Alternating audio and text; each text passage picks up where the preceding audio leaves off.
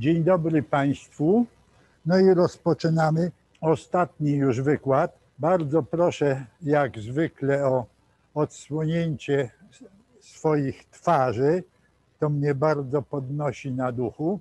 No właśnie, nie dotrzymam pewnych obietnic, które zawarłem w programie tego wykładu. Jakieście się decydowali na to, żeby wziąć udział, to toście przeczytali różne moje obietnice. No pewnych nie dotrzymam, no ale tak to jest. Wydawało mi się, że nie mogę szybciej tego wszystkiego robić.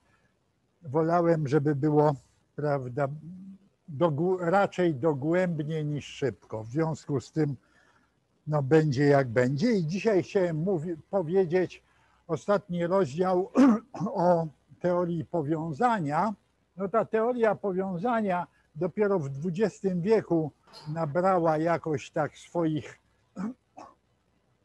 rumieńców. Przedtem y, to jakoś była częścią geometrii Limanowskiej, ale chciałbym właśnie wyłożyć ją w taki sposób, żebyście Państwo widzieli, że to, że powiązanie to jest zupełnie inny obiekt. I w teorii, w ogólnej teorii względności, teorii grawitacji, one się jakoś tam zbiegają. Einstein, jak mówił o grawitacji, to mówił właśnie w języku geometrii limanowskiej, czy też pseudolimanowskiej. No nie miał wtedy odpowiedniego języka. Ten wykład jest wykładem z matematyki, ale on jest jakoś inspirowany, prawda? Ja to zawsze na swój prywatny użytek to mówię, że matematycy, matematyk odkrywa struktury, które są zapisane w naturze. W jakimś sensie odkrywa język, prawda? Fizyk doświadczalny obserwuje i odkrywa jakieś, prawda, inskrypcje, które natura nam oferuje, a nasz fach, fach teoretyka, polega na tym, żeby odszyfrować ten język. No i właśnie będę mówił o strukturze matematycznej, która nazywa się powiązanie, ale chciałem rozpocząć od yy, teorii grawitacji, bo wtedy właśnie Einstein odkrył, odkrył to powiązanie. No, posługiwał się takim językiem, jaki mu był wtedy dostępny, a mnie się wydaje, że to, co powiem teraz, jest prostsze. No więc, proszę Państwa, a jak, jak się czyta Einsteina, ja bardzo dużo czytałem tak zwanych pism filozoficznych Einsteina. Filozoficznych, czy też można powiedzieć dziennikarskich, no po prostu on miał bardzo wiele, stał się osobą taką, takim celebrytą, więc ciągle mu zadawano pytania i on miał bardzo wiele wypowiedzi takich niezapisanych w postaci wzorów i tłumaczył te swoje idee. I w gruncie rzeczy ja się zawsze dziwiłem, dlaczego on tak strasznie dużo yy, wspomina Macha, Macha, że on Machowi jest bardzo wiele wdzięczny. No Mach nie był takim strasznie wielkim fizykiem, ale rzeczywiście jego refleksja nad układami inercjalnymi była jakoś bardzo ważna. No potem jak już Einstein zrozumiał, co to jest grawitacja, to jedyny język, jaki był dostępny, to go troszeczkę zniósł w bok i w bardzo wielu wykładach teorii względności właśnie postępuje się tamtą drogą, która mnie się wydaje jest dużo bardziej skomplikowana. Otóż proszę Państwa, zastanówmy się nad Newtonem. Podstawowe osiągnięcie Newtona to nie była druga zasada termo, dynamiki, ma równa się f, prawda, czyli a to niby miało być x z dwiema kropkami, dlatego że ten wzór nie ma sensu, dlatego że drugie pochodne, o ile pierwsze pochodne krzywej dostarczają takiego obiektu geometrycznego, który się nazywa wektor styczny i tu jest wektor i jak siła jest wektor, to można je porównywać. Ale drugie pochodne nie. I w związku z tym ten wzór nie ma żadnego sensu, dopóki się nie powie, że to trzeba w układzie inercjalnym. No i w tym celu Newton sformułował pierwszą zasadę, która brzmi tak, jak brzmi, uczyliście się jej w szkole, a ja może ją inaczej sformułuję, bo to trzeba tak na nią patrzeć. Istnieje układ one inercjalny. W ogóle, proszę Państwa, w tej chwili może to y, y, rozpatrzmy problem ciała swobodnie spadającego. Na razie niech te siły będą zero, no to wtedy oczywiście i masa nie jest potrzebna, czyli innymi słowy. I pierwsza zasada dynamiki Newtona mówi tak, istnieje układ inercjalny, to znaczy taki, w których ciało, na które swobodnie spadające, na które żadna siła nie działa, porusza się według tego prawa. No bo oczywiście jak powiemy, że tam ruchem jednostajnym, prostolinijnym, no to, to o to właśnie chodzi, że druga pochodna jest równa zero, prawda? Druga pochodna jest równa zero.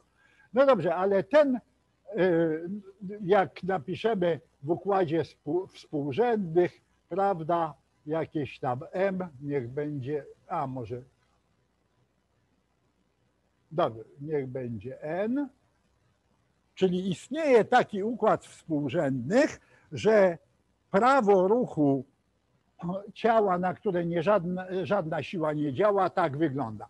Proszę Państwa, to może ja ten układ inercjalny dla odróżnienia nazwę sobie Y, na przykład A, o, i istnieje taki układ inercjalny.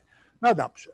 A teraz, ale nam, fizykom, którzy muszą coś liczyć, potrzebne są nie tylko układy inercjalne, bardzo często liczymy w układach nieinercjalnych, bo tak jest prościej, to zobaczmy, jak to wygląda, jak to równanie wygląda w innym układzie współrzędnych, prawda? Więc YA to jest jakiś układ współrzędnych, który jest inercjalny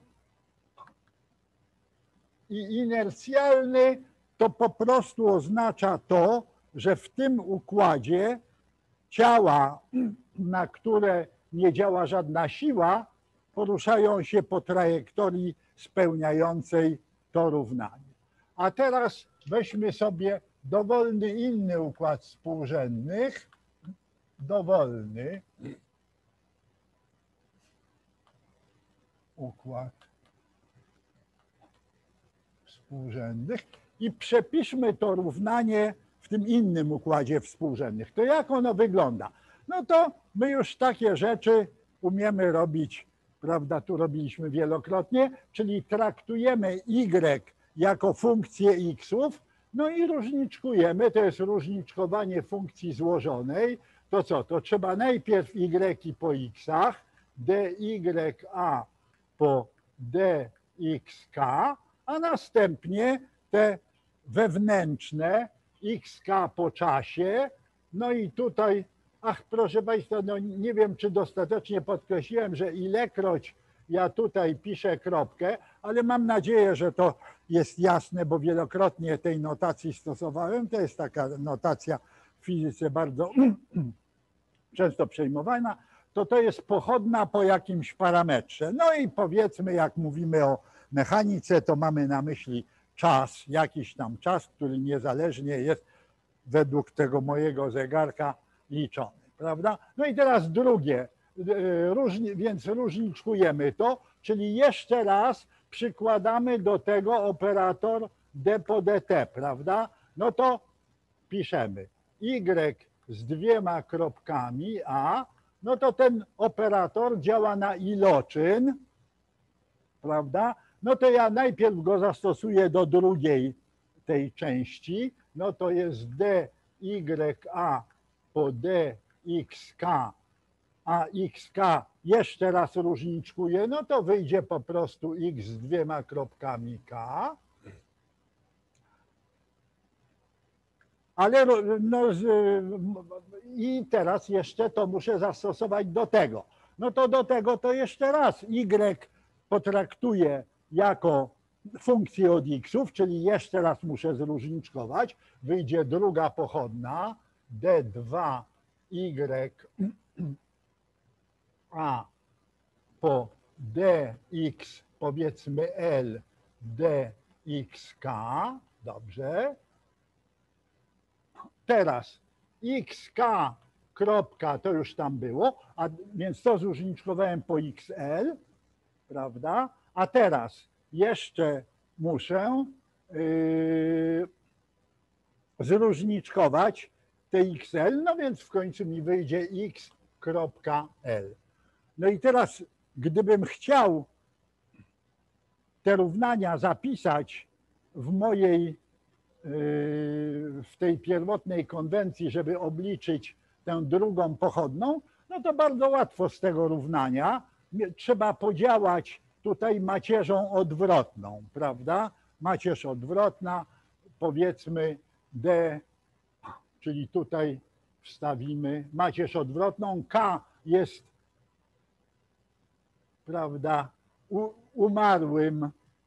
Nie ma K, bo po K y, więc tutaj trzeba napisać D y, X N po D YA, prawda? Jak to wstawimy w to miejsce, no to otrzymamy w końcu coś takiego. dx n po d ya razy y z dwiema kropkami a, a po tej stronie, no to to z tym da macierz jednostkową, to znaczy deltę Kronekera nk, no i jak sumujemy z k, to tylko ten człon będzie różny od zera, który ma numer n, prawda? Więc w końcu tutaj dostaniemy x z dwiema kropkami n, a tutaj, oj, przepraszam bardzo, a tutaj no, trzeba to wszystko pomnożyć, tak jak powiedziałem, czyli, o, przepraszam troszkę, czyli plus dya po dx, nie, źle, przepraszam bardzo, dxn po dya, a. Tutaj jest d2 YA po DXL DXK.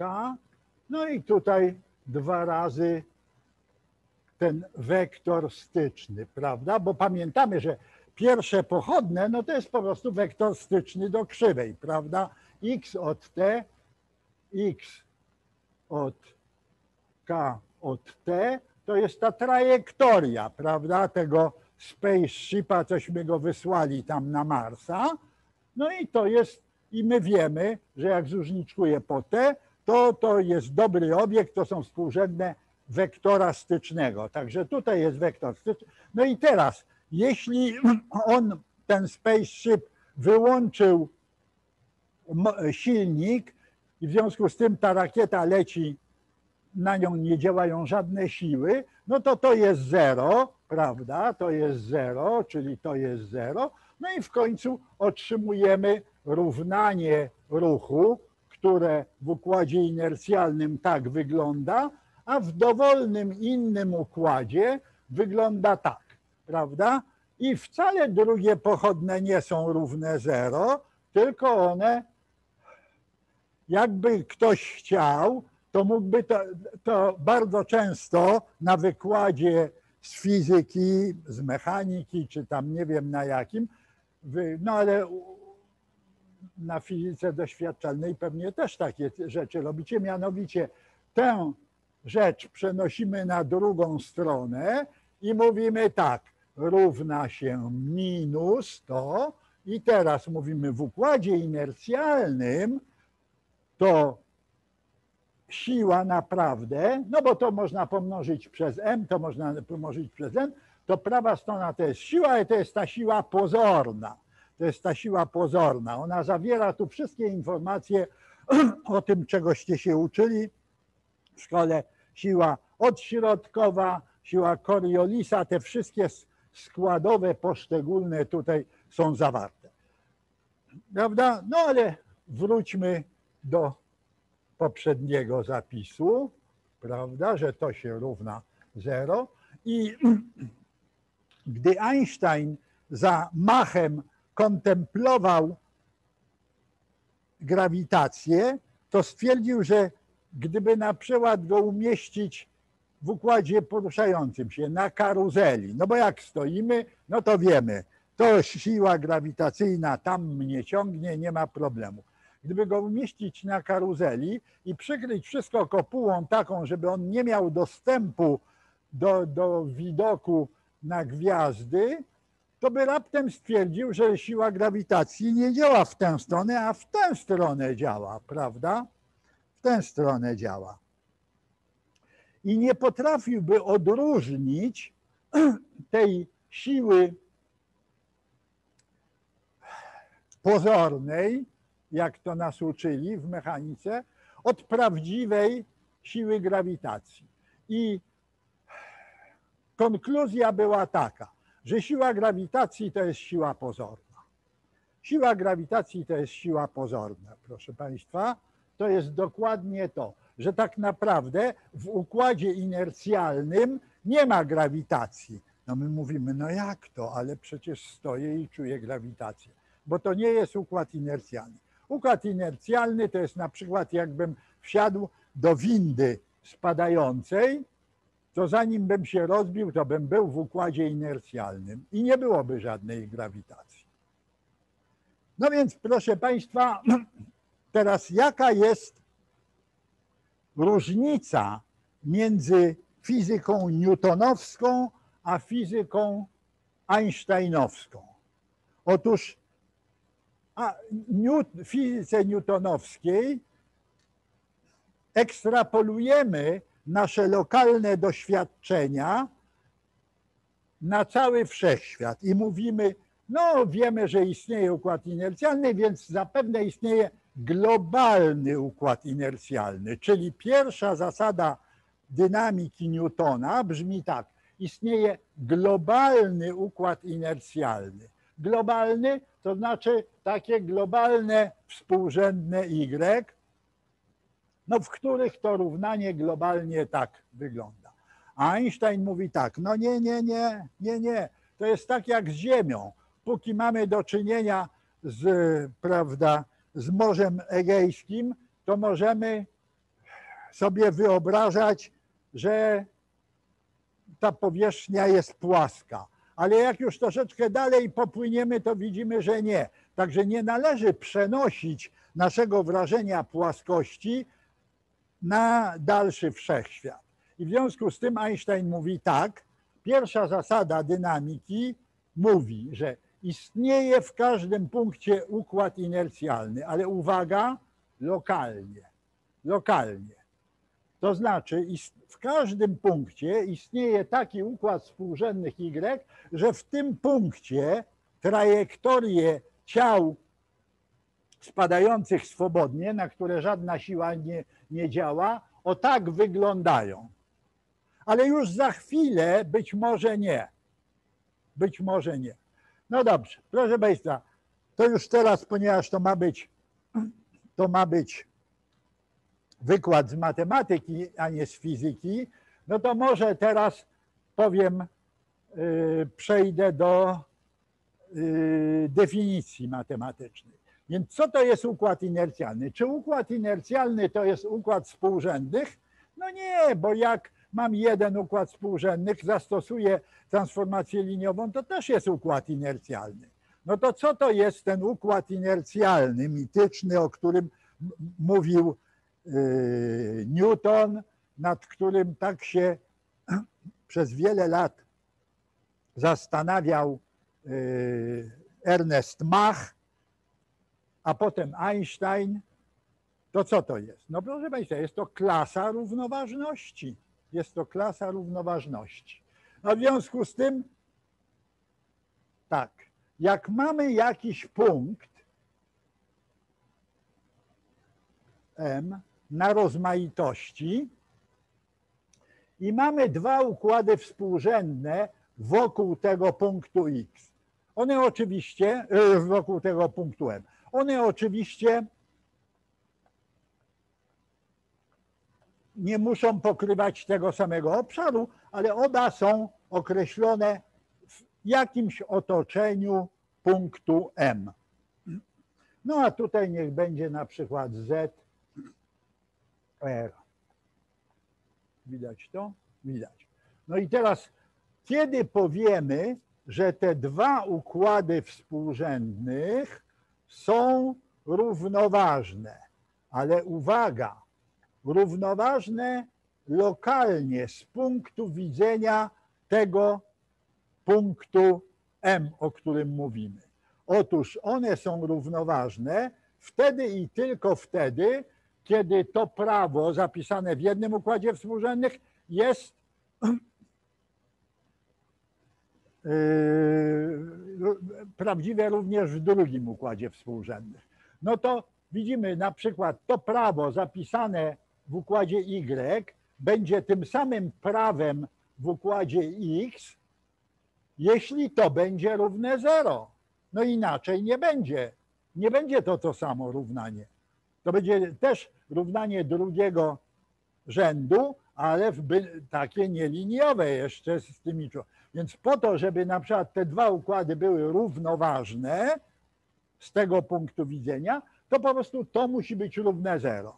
No to, to nie ma znaczenia, prawda, bo to dla każdego, dla, czyli dla dowolnego. To jest macierz y, nieosobliwa, którą można wyrzucić, pomnożywszy przez macierz odwrotną. Także widać, że to jest wtedy i tylko wtedy, kiedy te drugie pochodne znikają. No to napiszmy wtedy i tylko wtedy, gdy drugie pochodne jednego z tych układów, y, jed, y, przepraszam, każdej współrzędnej z jednego z tych układów, po tym drugim układzie, ale uwaga, obliczone w tym punkcie M, bo w innym punkcie to nie, są równe 0. O i to jest definicja. To jest, proszę Państwa, definicja równoważności. I, I teraz, co to jest lokalny układ odniesienia? Ano to jest klasa równoważności. No proszę Państwa, żeby, żeby to była klasa równoważności, to ta relacja, którą tutaj macie, toście się uczyli na pierwszym roku na wykładzie z analizy, musi być relacją równoważności, bo w przeciwnym razie to nie ma sensu. Tak? No czy ona jest relacją równoważności? No musi być zwrotna, symetryczna i przechodnia. No zwrotna to ona jest, bo jeśli z jest równe x, no to pierwsze pochodne to są po prostu e, delty Kronekera, no drugie pochodne są równe 0. Czyli je, układ jest równoważny w tym sensie samej sobie. Ale czy ona jest symetryczna? No tutaj, tak jak to jest napisane, to to nie wygląda symetrycznie, proszę Państwa, bo te zety są na górze, xy są na dole. A czy jakby odwrócić, to czy będzie tak samo? Proszę Państwa, nie zrobię tutaj tego rachunku. Ten rachunek jest prosty. Zasadniczo mógłbym go zadać Wam jako ćwiczenie, pokazać, że ta relacja jest symetryczna. Innymi słowy, jeśli to jest 0, to d2xk po dzr dzs też jest równe 0. No to łatwo sobie przeliczyć. Zróbcie to jako ćwiczenie albo przeczytajcie w mojej książce. To jest prosty lemat. No i jeszcze przechodniość. I się okazuje, że przechodniość tak samo. Jeśli w tym sensie, jeśli dz po dx jest równe 0, a dx po dy jest równe 0, 2, d2 oczywiście, drugie pochodne, to drugie pochodne zetów po y też są równe 0 i to jest proste ćwiczenie na takie właśnie różniczkowanie funkcji złożonej. Nie ma tutaj żadnej tajemnicy, wszystko to potraficie, potraficie już zrobić. I to jest lokalny układ odniesienia.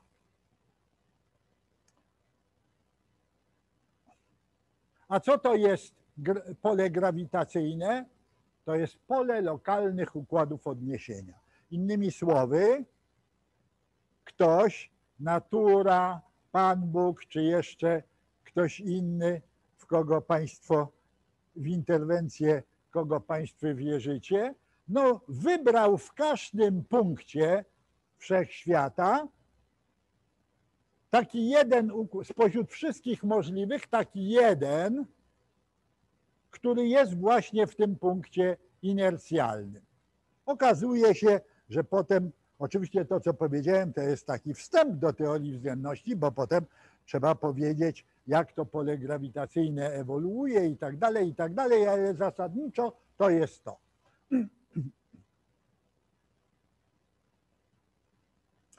I teraz jeszcze jedna uwaga. Proszę Państwa, Einstein te rozmyślania robił tak począwszy od 1911 roku, ale szczególną teorię względności to wymyślił w 1905. I już wtedy wiadomo było, że y, to, że nie wolno czasu od przestrzeni oddzielać, że czas i przestrzeń to jest jedna wielkość, że nie istnieje przestrzeń trójwymiarowa, istnieje czasoprzestrzeń, a czasami jak mamy dobry jakiś układ odniesienia, to możemy podzielić go sobie sztucznie na czas i przestrzeń, ale ten podział jest prawda, zależny od układu odniesienia, więc innymi słowy, ta cała filozofia dotyczy współrzędnych czasoprzestrzennych, a nie przestrzennych, czasoprzestrzennych, a ten parametr t, który tutaj gdzieś był, o ten, to nie jest żadna współrzędna w czasoprzestrzeni, to, tylko to jest taki parametr, prawda? Parametr, na przykład jak leci ten spaceship,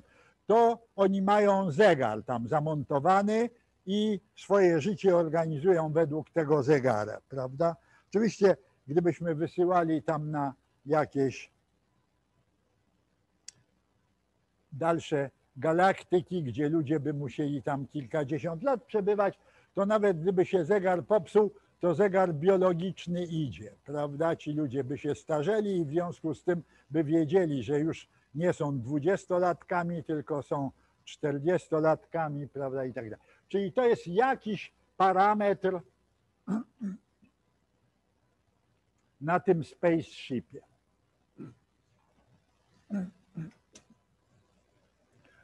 No dobrze, więc lokalny układ odniesienia.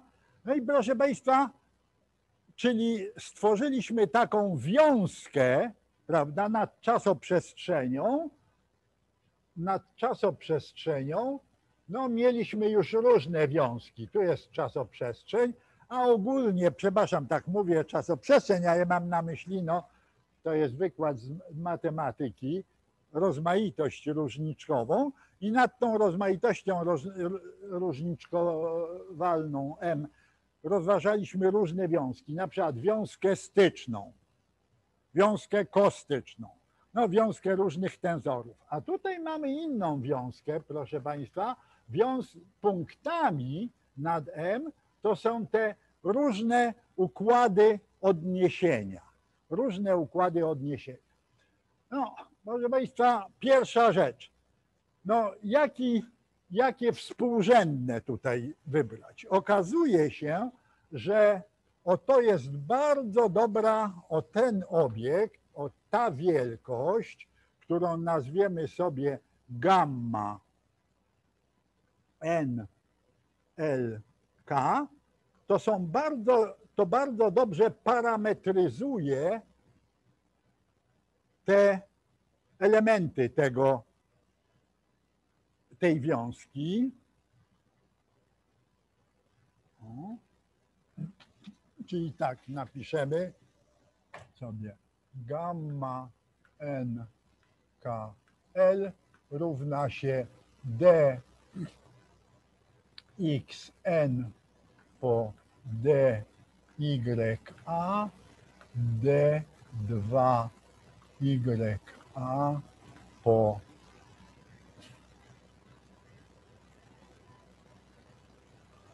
D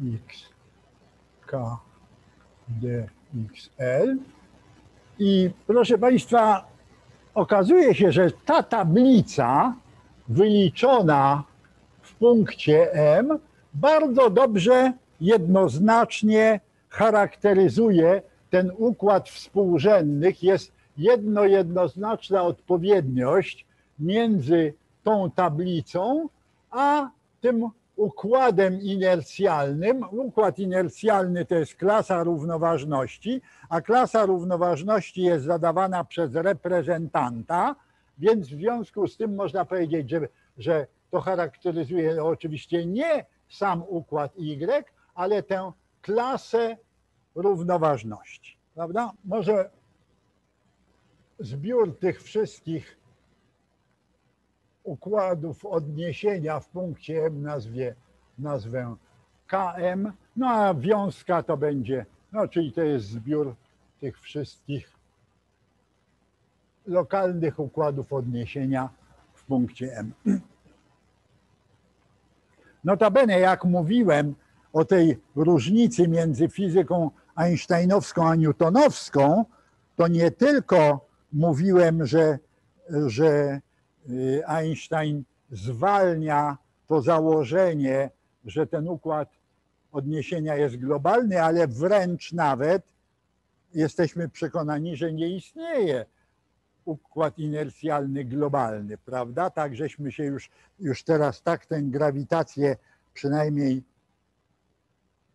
w skali na przykład układu słonecznego, to tak doskonale już żeśmy pomierzyli na wszystkie strony, że, że wiemy bardzo dobrze, że już tutaj bardzo lokalnie w układzie słonecznym to nie ma y, układów globalnych, inercjalnych, prawda? Są naprawdę w każdym punkcie różne. Więc jest jedno jednoznaczna odpowiedniość. No bo jak? Przy czym uwaga, tutaj ten układ współrzędnych XK to jest jakiś układ współrzędnych, w którym my pracujemy. No jak chcemy jakieś rachunki robić, no to robimy go w jakimś układzie współrzędnych, prawda? No to mamy jakiś układ współrzędnych i teraz weźmy jakikolwiek układ odniesienia, no, który jest reprezentowany przez inne współrzędne y.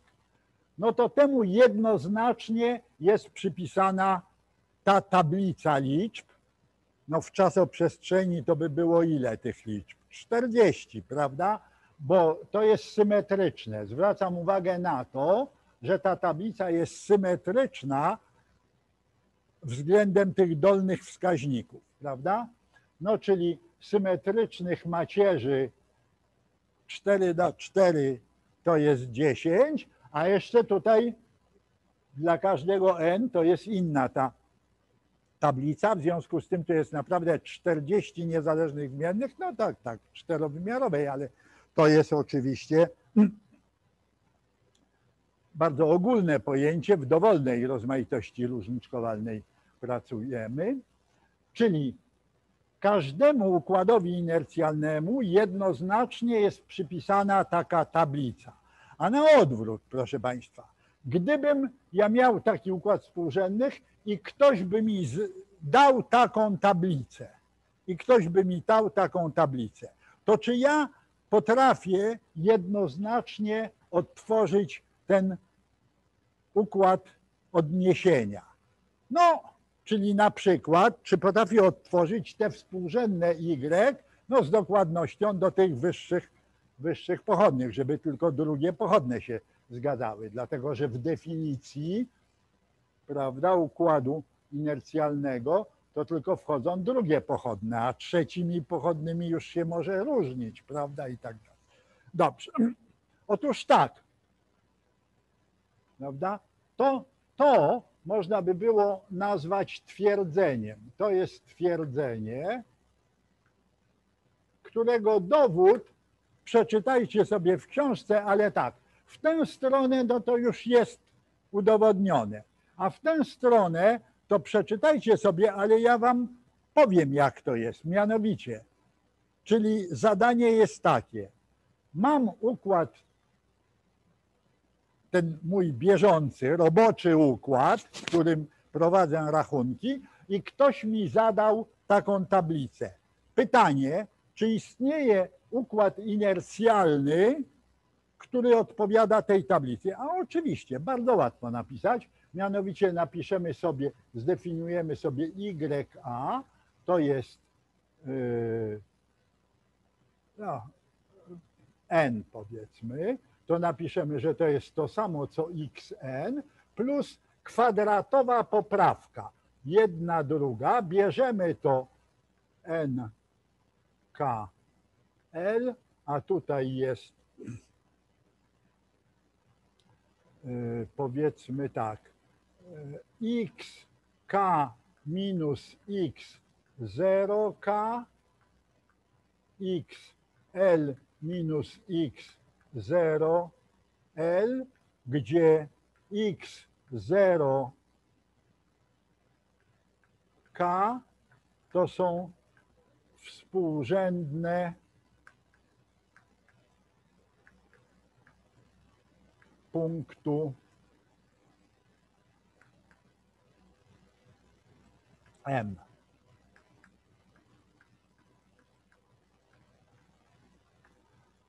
no to widać, że wygodniej jest pracować w takich współrzędnych scentrowanych w punkcie M, to znaczy takich, że punkt M ma to równe 0, czyli we współrzędnych scentrowanych. Jak się pisze?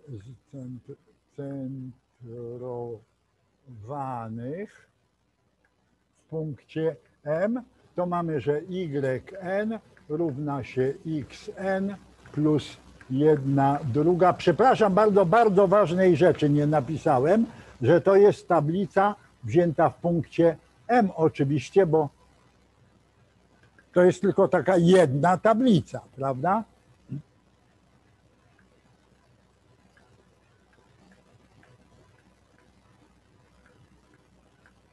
Czyli innymi słowy, widzimy, że jak ktoś nam da taką tablicę, to ta tablica oznacza, że po to, żeby z tych współrzędnych, które, prawda, zrobić te współrzędne, w cudzysłowie, inercjalne, to trzeba poprawkę kwadratową im dodać, prawda? Trzeba dodać im poprawkę kwadratową i to już będą te. Prawda? Czyli innymi słowy,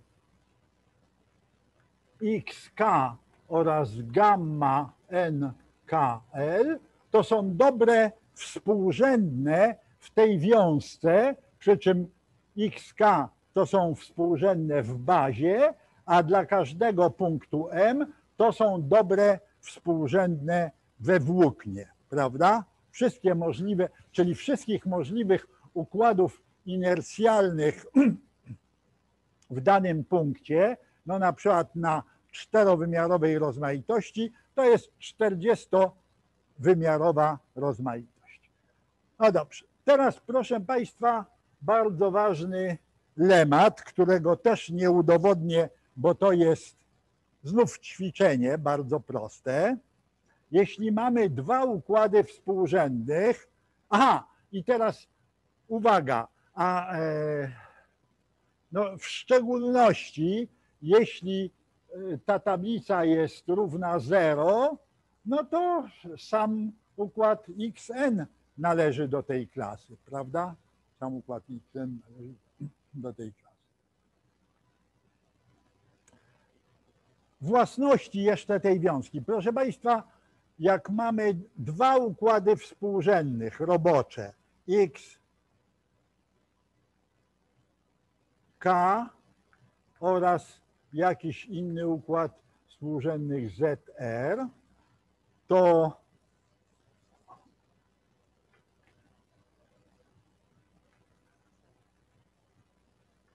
I jak mamy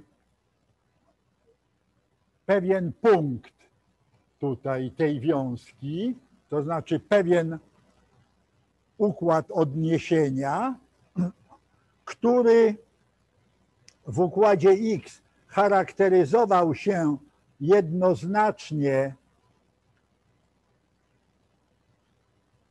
prawda, tą tablicą, bo powiedzieliśmy, prawda, że każdy układ odniesienia jednoznacznie w tym naszym roboczym układzie współrzędnych X je, charakteryzuje się taką tablicą. Ale jak zmienimy układ współrzędnych, to on się będzie inną tablicą charakteryzował. No i teraz prawo transformacji. Jak się zmieniają te współrzędne tego samego układu odniesienia przy przejściu, przy zmianie roboczego układu współrzędnych z x na y. No i okazuje się, że to, to, to jest bardzo łatwo i Państwo to sobie możecie potraktować jako ćwiczenie. Bardzo zachęcam, ale to jest proste. To jest tak, że trzeba D, Z, R po dxn, a tutaj te dolne względem dxk po dzs, dxl po dzt. O, to proszę Państwa, gdyby nie było dalszego ciągu, ale jest dalszy ciąg i zaraz powiemy, na czym on polega, gdyby nie było dalszego ciągu, to by to fizyk taki średnio wykształcony z matematyki by powiedział, o świetnie, to to jest tensor. To jest dokładnie to, co na ostatnim yy, wykładzie Państwu mówiłem, że jak mamy współrzędne tensora, raz kontrawariantnego, a dwa razy kowariantnego, to one przy przejściu z jednego układu do drugiego tak się transformują. Ale niestety nie. To nie jest tensor, bo, do, bo w tym prawie transformacyjnym jeszcze dochodzi część niejednorodna, mianowicie d z r po d x n, a tutaj jest d2xn po dzs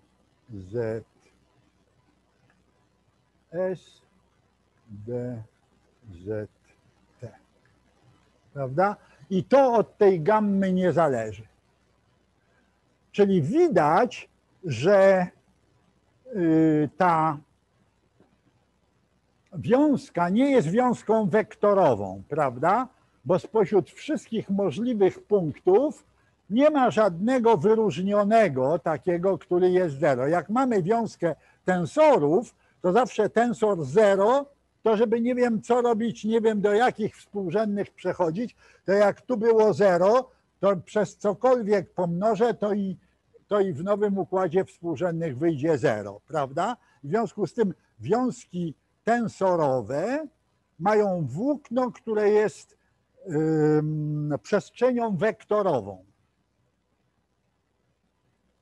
Natomiast wiązka tych układów inercjalnych nie jest wiązką wektorową, bo nie ma żadnej koneksji, które by mogły, y, która jest lepsza niż, y, znaczy co ja mówię koneksji, nie ma żadnego układu odniesienia, który byłby lepszy od innego układu odniesienia.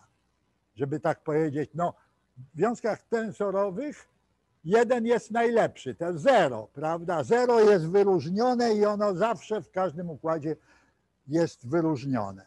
A tu nie ma żadnego wyróżnionego. W związku z tym widać, że to nie jest wiązka y, wektorowa. To włókno to nie jest przestrzeń wektorowa, ale jest to przestrzeń afiniczna. Dlaczego? Dlatego, że jak mamy dwa takie punkty, to jak je odejmiemy, na przykład gamma 1 i gamma 2, to jak je odejmiemy, to to się odejmie. I wtedy na tę różnicę, ta różnica dwóch układów odniesienia lokalnych transformuje się właśnie według tego prawa, tak jak tensor. Czyli widać, że przestrzeń wszystkich lokalnych układów odniesienia w danym punkcie jest przestrzenią afiniczną. A co jest tą przestrzenią wektorów? Ano przestrzeń właśnie tensorów raz kontrawariantnych, dwa razy kowariantnych i symetrycznych, prawda? Tutaj symetrycznych. Czyli bardzo łatwo widać, że jak mamy gamma, powiedzmy jedna, jeden układ odniesienia między gamma, drugi układ odniesienia, to ta różnica to już jest tensor i, te, i ta przestrzeń takich tensorów to jest przestrzeń styczna do tej, do tej wiązki, prawda? Uf. Okropnie jestem zestresowany, bo chciałbym coś, nie coś Państwu powiedzieć. No nie jest to tak. Może. Dobrze, zróbmy przerwę. Najwyżej, najwyżej trochę mi pozwolicie, mam nadzieję, przeciągnąć ten wykład, żebym jakoś tak do pewnego końca doprowadził, ale i, i tak, proszę Państwa, zbyt wiele nie, nie powiem. Natomiast mam nadzieję, że Państwa zaciekawie i sobie przeczytacie to, co trzeba. Natomiast jednej rzeczy, y, no ewidentnie, jednej obietnicy ewidentnie nie spełnię, bo miałem mówić również o geometrii symplektycznej, jej związku z rachunkiem wariacyjnym i tak dalej, i tak dalej. Tutaj na ten temat w fizyce i w matematyce jest strasznie dużo nieporozumień i tak się cieszyłem, że Państwu może coś na ten temat powiem, ale nie powiem. Koniec, kropka, no nie zdążyłem, nie dam rady. Dobrze, robimy przerwę.